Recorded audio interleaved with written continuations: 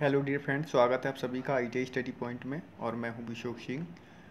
कल की क्लास थोड़ी सी डिस्टर्ब हो गई थी नेटवर्क के इशू की वजह से, और मैं आज थोड़ा सा रिकॉर्डेड क्लास दे रहा हूँ, ताकि आप सभी लोगों की जो परीक्षा है वो समय पे आपका सिलेबस और कंप्लीट कराया जाए। तो आशा करते हैं कि आप सभी लोग हमारे वीडियो को देख रहे होंगे। और जितने भी साथी पहली बार चैनल पे आए हैं तो चैनल को सब्सक्राइब ज़रूर करें, वीडियो को लाइक और शेयर करें। तो चलिए, कल जो हमने क्लास कराई थी, उसके आगे के जो क्वेश्चंस हैं, हम वो इस वीडियो में करा रहे हैं। तो पहला क्वेश्चन है बेल्ट फास्टनर का नाम क्या है? तो यहाँ पे एक आपको एक फास्टनर दिया हुआ है, और इसका नाम पूछा गया है। तो चार ऑप्शन आपकी स्क्रीन पे हैं, जिसमें आपका वायर टाइप एक है लगरेला टाइप और दूसरा है एलिगेटर टाइप और तीसरा है आपका सीक्रेट प्लेट टाइप तो देखिए, इस क्वेश्चन का जो राइट आंसर हो जाता है आपका एलिगेटर बेल्ट फास्टनर यानी आपका ऑप्शन यहाँ पे जो राइट आंसर होगा डियर वो आपका C is the right answer हो जाएगा यहाँ पे। तो ये जो आपका, यहाँ पे आप देख पा रहे हैं, ये फास्टनर जो है आपका एलिगेटर टाइप का है। और अगर फास्टनर की बात की जाए तो यहाँ चार से पाँच प्रकार के आपके फास्टनर पढ़ाए जाते हैं। जो निम्न प्रकार हैं, वो कौन कौन से हैं? सबसे पहले हम बात करते हैं पहला है आप तार प्रकार का बेल्ट फास्टनर होता है एक। तार प्रकार का तार प्रकार का बेल्ट फास्टनर ठीक है ना? Belt fastener. और दूसरा होता है लारगीली प्रकार का बेल्ट फास्टनर और तीसरा होता है जैक्सन प्रकार का बेल्ट फास्टनर और तीसरा हाँ, चौथा होता है आपका क्रीसेंट और पांचवा होता है आपका एलिगेटर टाइप का। तो ये आपका जो है, वो आपका एलिगेटर टाइप यानी सी आपका ऑप्शन बिल्कुल सही जवाब हो जाता है। अगले क्वेश्चंस की ओर चलते हैं। अगला क्वेश्चन देखते हैं क्या आपका। और ये वेरी इंपॉर्टेंट क्वेश्चंस है। इसमें ये पूछा गया गियर का नाम क्या है? ठीक है? तो आपको इस गियर का नाम बताना है। क्या है इस गियर का नाम? ठीक है? तो चलिए आपको यहाँ पे चार ऑप्शन दिए गए हैं। और सही आपको ऑप्शन देख करके सही आंसर आपको बताना है। तो चलिए यहाँ पे ये जो है आपका ऑप्शन ए कह रहा है, spur gear, mitre gear hypoid gear या फिर आपका हियरिंग बॉन गियर। तो क्वेश्चन नंबर आपका जो थर्टी सेवन है, इसका जो राइट आंसर हो जाता है, सही जो जवाब हो जाता है आपका, मैटर गियर कहा जाता है। इसका बी ऑप्शन आपका राइट आंसर है। अब जो मैटर गियर होता है, इसका जो कहाँ पे यूज़ किया जाता है, ठीक है? तो जो दो वेबल गियर परस्पर मैचिंग पूर्ण करते हैं, यानी जो ये दो वेबल गियर हैं, एक गियर ये है वेबल गियर और एक ये वेबल गियर है। तो ये क्या कर रहा है? आपस में क्या कर रहा है? मैचिंग पूर्ण करते हैं, ठीक है, या समकोण गति पर स्थानांतरित करने की सम समकक्ष हों तो उसे मेट्रिक गियर कहते हैं, ठीक है। और 90 डिग्री का कोण पर परस्पर संपर्क में फिट होते हैं, ठीक है। तो ये चीज़ें आपको ध्यान में रखना है। इन पर 45 डिग्री के कोण भी जो इन पे जो दांते बने होते हैं, इनके 45 डिग्री का कोण होता है तो ये वेरी इंपॉर्टेंट है, ठीक है? इंपॉर्टेंट चीज़ें जो हम आपको यहाँ पे बता रहे हैं, एक क्वेश्चन के साथ कई सारी चीज़ों को हम डिस्कस करते हैं। अगले क्वेश्चन की बात करते हैं। नेक्स्ट क्वेश्चन आपकी स्क्रीन पे यहाँ पे यहाँ पूछा गया है बेल्ट ड्राइव में एक्स के रूप में चिन्हित भाग का नाम क्या है? तो आप यहाँ पे एक देख पा रहे हैं, एक पुली है और इस पुली का नाम पूछा गया है। यहाँ पे जो एक्स वाला भाग है, इस वाले भाग का नाम पूछा गया है। देखिए स्टेप पुली है, या ड्राइव पुली है, या ड्रिवन पुली है, या फिर आपकी जॉकी पुली है। तो देखिए, मैं आपको एक एक चीज़ों को, जितने भी ऑप्शन हैं, ये सारे ही ऑप्शन आपको क्लियर करा देता हूँ कि कौन सी चीज़ को क्या कहा जाता है। तो चलिए एक बार सभी लोग वीडियो को लाइक और शेयर कर दीजिए, चैनल को सब्सक्राइब ज़रूर करिए, क्योंकि यहाँ पे हम सारी चीज़ें बड़े डिटेल से और सारी चीज़ों को बड़े अच्छे से कॉन्सेप्ट को क्लियर कराता हूँ। तो यहाँ पर चलिए, सबसे पहले हम बात करते हैं स्टेप पुली। स्टेप पुली यहाँ पर कौन सी हो जाती है?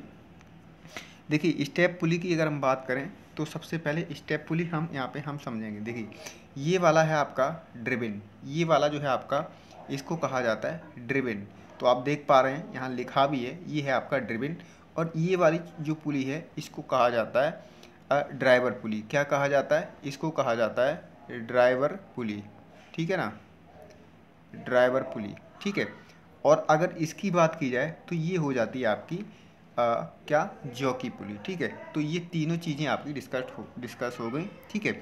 अगर हम बात करें इस वाले भाग की इस वाले भाग की अगर हम बात करें तो ये ड्रेवन साइड हो जाता है। क्या हो जाता है? ड्रेवन साइड हो जाता है। तो इस क्वेश्चन का जो राइट आंसर हो जाता है डियर फ्रेंड वो आपका ये आपका यहाँ पे जॉकी पुली यानी डी ऑप्शन आपका बिल्कुल सही जवाब हो जाता है। इसी के साथ नेक्स्ट क्वेश्चन की ओर चलते हैं। अगला क्वेश्चन आपकी स्क्रीन पे किस प्रकार का गियर रोटरी चाल को रैखिक चाल में बदलता है। अब ये क्वेश्चन वेरी इंपॉर्टेंट है। कौन सा जो गियर है, वो रोटरी चाल को किसमें बदलता है? रैखिक चाल में बदलता है। तो गियर से संबंधित बहुत सारे क्वेश्चन आपके पूछे जाते हैं तो ये चीज़ आपको ध्यान रखनी है, ठीक है? तो देखिए, इस क्वेश्चन का जो राइट आंसर हो जाता है थर्टी नाइन का जो राइट आंसर हो जाता है, आपका सी ऑप्शन सही है रैक और पिनियन ठीक है ना? कौन सा सही जवाब हो जाएगा? रैक और पिनियन ठीक है ना? तो यहाँ पे सही जो जवाब हो जाता है, रैक और पिनियन आपका राइट आंसर हो जाता है। चलिए तो यहाँ पे रैक और पिनियन, ये आपका, सॉरी, माफ़ी चाहेंगे यहाँ पे, रैक और पिनियन आपका राइट आंसर होता है, ठीक है? अब रैक और पिनियन क्या होता है? ये जो गियर होता है, इस तरीके से होता है, जैसे कि आपने एक यहाँ पे देखा भी होगा, इस टाइप का, और इसमें कुछ खांचे कटे हुए होते हैं, और इसके ऊपर एक यहाँ पे एक और गियर आता है इसके ऊपर, ठीक है ना? तो ये रैक और पिनियन गियर कहा जाता है इसको, ठीक है ना? इस तरीके का जो होता है, ये होता है आपका रैक और पिनियन गियर, ठीक है? ठीक है, अब इसमें क्या होता है? ये सीधी रेखा की गति में तथा इसके विपरीत परिवर्तित करने के लिए प्रयोग किया जाता है, ठीक है? तो ये जो है आपका, मान लीजिए इसका जो है दांते जो हैं इसके अक्ष पर घुमाऊ गति करता है और रैक की रेखी गति में परिवर्तित करता है ठीक है? तो कुल मिला के ये आपका इस टाइप का रैक होता है जिसको रैक एंड पिनियन कहा जाता है। तो ऑप्शन आपका यहाँ पे जो राइट आंसर हो जाता है सी ऑप्शन आपका बिल्कुल सही जवाब हो जाता है ठीक है? हाइपोइड गियर क्या होता है? हाइपोइड गियर जो होता है आपका वो कुछ इस टाइप का होता है। इसके अंदर एक इस, इस टाइप का होता है और जो आपका ये इस तरीके से कटे हुए होते हैं इसमें खांचे ये ठीक है ना? और एक गियर यहाँ पे लगा हुआ होता है, इस टाइप का। इसमें यहाँ एक गियर लगा हुआ होता है, ठीक है ना? तो ये इस पर घूमता है। तो ये हाइपोइड गियर कहा जाता है, ठीक है? अगर हम बात करें हॉर्बोन जो होता है हॉर्बोन तो हम इनके सारे एक एक चित्र आपको किसी भी दिन सारी चीज़ों को हम डाल देंगे ताकि आप सभी लोग जो गियर होते हैं, इनको आप पहचान सकें, ठीक है ना? तो चलिए हॉर्बोन गियर्स इसी तरीके से होता है आपका, ठीक है? कुल मिला के इसमें क्या होता है कि ये इस इस टाइप में कटे होते हैं इसके खांचे, है ना? और इसमें दो गियर होते हैं, एक ऊपर से यहाँ पे लगा हुआ होता है तो ये इस टाइप के होते हैं, ठीक है? चलिए नेक्स्ट क्वेश्चन की बात करते हैं। अगला क्वेश्चन वेरी इंपॉर्टेंट क्वेश्चन है। इससे कई बार क्वेश्चन पूछे गए हैं और और भी क्वेश्चंस पूछे जाते हैं। एक्स के रूप में चिन्हित भाग का नाम पूछा गया है। तो देखिए, इस क्वेश्चन का जो राइट आंसर है, आपका यहाँ पे हो जाता है। इसकी बिट्थ हो जाती है, यानी जो आपकी फेस की चौड़ाई हो जाती है यहाँ पे, ठीक है? फेस की चौड़ाई। अब अडेंटम की बात की जाए तो ये वाला भाग जो होता है, ये अडेंटम कहा जाता है, यानी ये अडेंटम हो गया, ठीक है? नीचे वाली जो लाइन होती है, ये डेंटम लाइन होती है तो डेंटम लाइन कहा जाता है इसको। ये वाली आपकी पिच लाइन होती है। तो इस क्वेश्चन का जो राइट आंसर है फेस की चौड़ाई आपका बिल्कुल करेक्ट आंसर हो जाता है। इसी के साथ अगले क्वेश्चन की बात करते हैं। नेक्स्ट क्वेश्चन ये रहा आपका, और इसमें पूछा गया है कपलिंग का नाम क्या है, ठीक है? Slip coupling, plate coupling, clamp coupling या फिर यूनिवर्सल कपलिंग। ठीक है? तो यहाँ पे इसमें इस क्वेश्चन में थोड़ा सा डाउट है और ये मेरे हिसाब से यूनिवर्सल कपलिंग होना चाहिए। ठीक है ना? पैंतालीस क्वेश्चन नंबर, ठीक है? तो इस क्वेश्चन का जो राइट आंसर है, यहाँ पे कुछ लोग प्लेट कपलिंग कहते हैं। ठीक है? बाकी इसका हम क्लियर करके आपको बता ही देंगे। चलिए, अगले क्वेश्चन की बात करते हैं। नेक्स्ट है, पावर ट्रांसमिशन में पुली का फेस क्राउन क्यों होता है? जो पावर ट्रांसमिशन होता है, उसमें जो पुली होती है, उसका फेस जो होता है वो क्राउन क्यों होता है? क्राउन का मतलब ये होता है कि ये जो आपका, इस टाइप की जो पुली होती है वी आकृति की, ठीक है ना? तो यहाँ पे जो आपका ये, इसका मतलब क्या होता है? क्राउन क्यों होती है? इसका मतलब ये होता है, तनाव को बढ़ाने के लिए, तनाव को कम करने के लिए बेल्ट को केंद्रीकृत रखने के लिए या फिर पुली को फ्रीली घुमाने के लिए। तो क्वेश्चन नंबर फोर्टी सिक्स का जो राइट आंसर हो जाता है, देखिए यहाँ पे बेल्ट को केंद्रीकृत रखने के लिए सही जवाब है इसका, क्योंकि इसका जो कारण ही है जो आपकी वी टाइप में होती है तो इसका जो राइट आंसर हो जाता है कि द बेल्ट सेंट्रलाइज्ड यानी सेंट्रल में रखने के लिए इसका उपयोग किया जाता है, यानी सी ऑप्शन आपका बिल्कुल सही जवाब है। चलिए, अगले क्वेश्चंस की बात करते हैं। और आप सभी लोग कमेंट हमें बताया करें कि किस तरीके के आपके क्वेश्चंस हैं, और क्या आप लोग चाहते हैं कि इस तरीके के जो क्वेश्चंस हैं, आपको सिलेक्टेड क्वेश्चन और भी दिए जाएँ? ठीक है, ताकि आप अपने परीक्षा में अच्छा स्कोर करके आएँ। चलिए, विनिर्माण के दौरान की गई गतिविधियों का कौन सा आलेखी प्रतिनिधित्व है? जॉब कार्ड, पाई चार्ट या प्रक्रिया चार्ट या बैच रिकॉर्ड फॉर्म या फिर बैच प्रोसेसिंग फॉर्म? तो इस क्वेश्चन का जो राइट आंसर हो जाता है फोर्टी सेवन का, यहाँ पे प्रोसेस चार्ट आपका राइट आंसर हो जाता है। बी ऑप्शन आपका बिल्कुल सही जवाब है। इसी के साथ अगले क्वेश्चन की ओर चलते हैं। अगला क्वेश्चन नेक्स्ट है। सूखे बेल्ट की ग्रिपिंग पावर को कैसे सुधारा जाता है? जॉकी पुली के द्वारा। देखिए, जैक, जॉकी पुली अभी जस्ट हमने आप लोगों को बताया था कि किस तरीके से जॉकी पुली का काम क्या होता है, वो भी एक यही काम करती है जो इसकी जो ग्रिपिंग होती है, यानी कि लूज हो जाता है तो उसको सुधारने का काम करता है, ठीक है? तो यहाँ पे जो राइट आंसर हो जाता है अप्लाई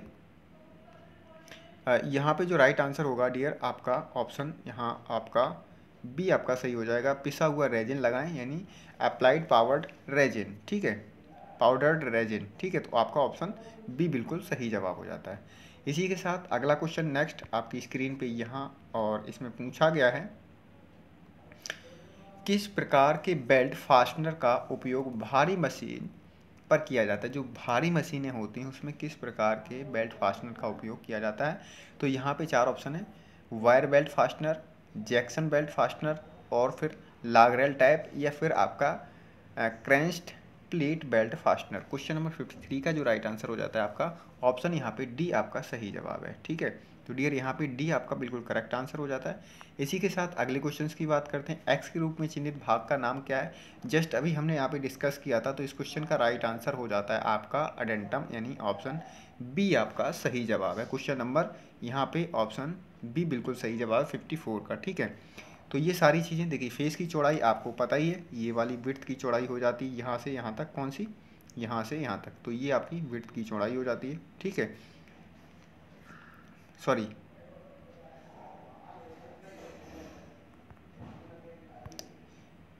चलिए, अगले क्वेश्चंस की बात करते हैं नेक्स्ट अब यहाँ पे एक गियर का नाम पूछा गया है, ये कौन सा गियर है, ठीक है? तो आप लोग इस क्वेश्चन का आंसर बताएँगे।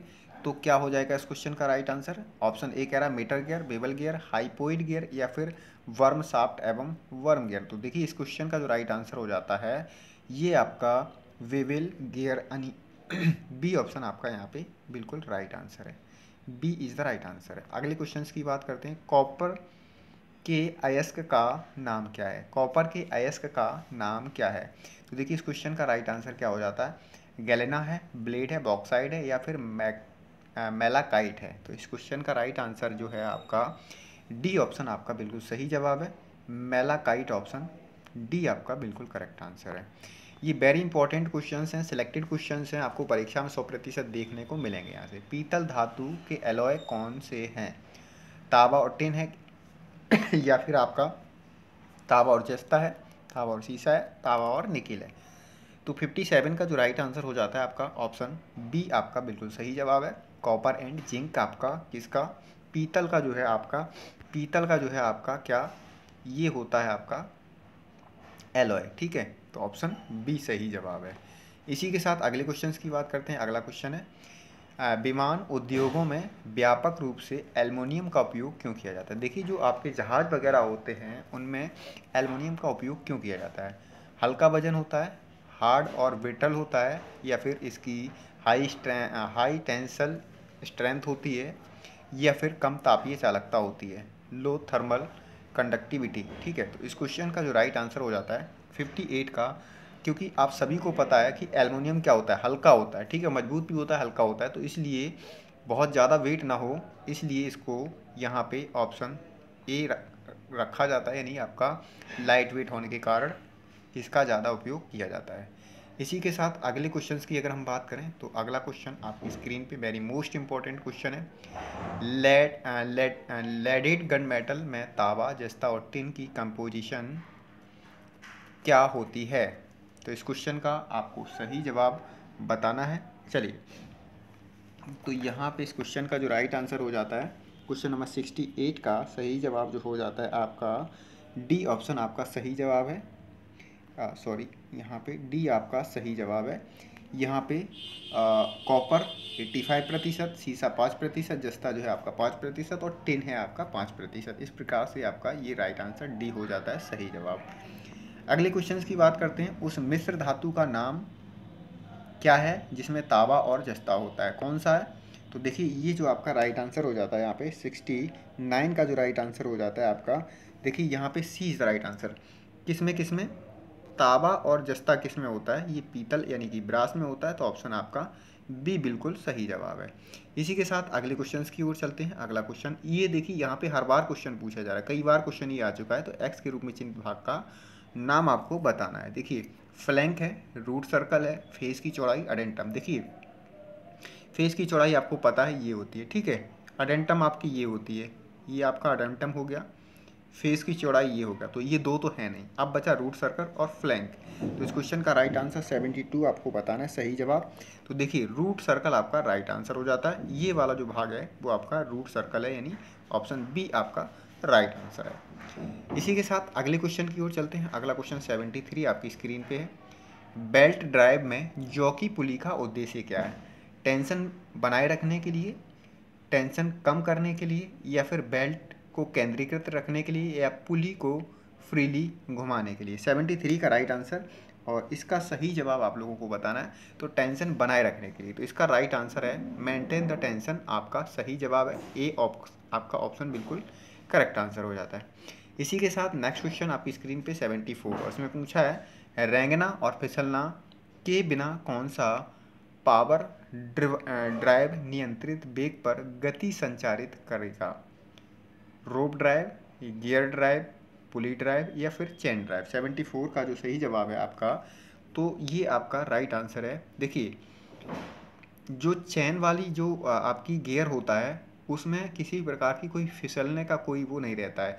ये आपका जो गियर होता है, वो भी आपका फिसलने का वो नहीं होता। तो यहाँ पे जो राइट आंसर आपका हो जाता है वो आपका क्या सही जवाब हो जाता है? चैन ड्राइव देखिए, अगर पुली पे अगर कोई पट्टी चढ़ी हुई है तो कई बार वो फिसल जाती है, लेकिन चैन वाला सिस्टम फिसलता नहीं है तो आपका राइट आंसर डी बिल्कुल सही जवाब है। अगले क्वेश्चन की बात करते हैं।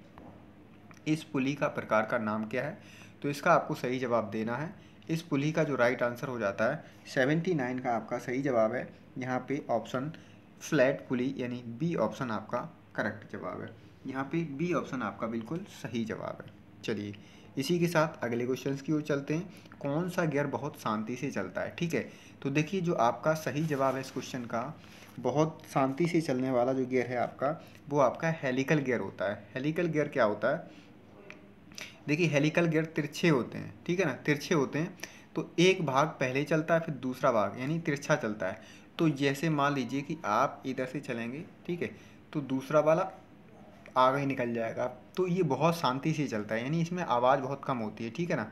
जैसे आप आप थोड़ा सा अगर बात करें तो आप खुद जब चलेंगे तो पूरा पैर चलेंगे तो आपकी आवाज़ आती है, ठीक है ना? और अगर हम किसी को दबे पैर जाते हैं तो सबसे पहले हम एड़ी रखते हैं या फिर पंजा रखते हैं, उसके बाद एड़ी रखते हैं।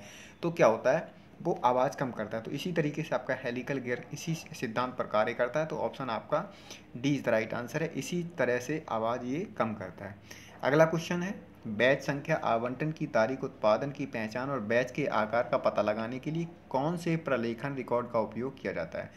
Processing chart job chart operation flow chart या फिर batch processing record question number eighty one का जो राइट आंसर है, वो आपका सही जवाब है, आपका जॉब कार्ड यानी किसी भी चीज़ की हम क्या क्या क्या चीज़ें बैच संख्या, आवंटन, तारीख और उत्पादन की आकार की जो पहचान होती है, वो हम जॉब कार्ड से हम पता करते हैं। ऑप्शन बी आपका बिल्कुल सही जवाब है। इसी तरीके से नेक्स्ट क्वेश्चन आपका गियर का मैकेनिज्म यानी ये कौन सा गियर है, वो आपको बताना है एट्टी टू का।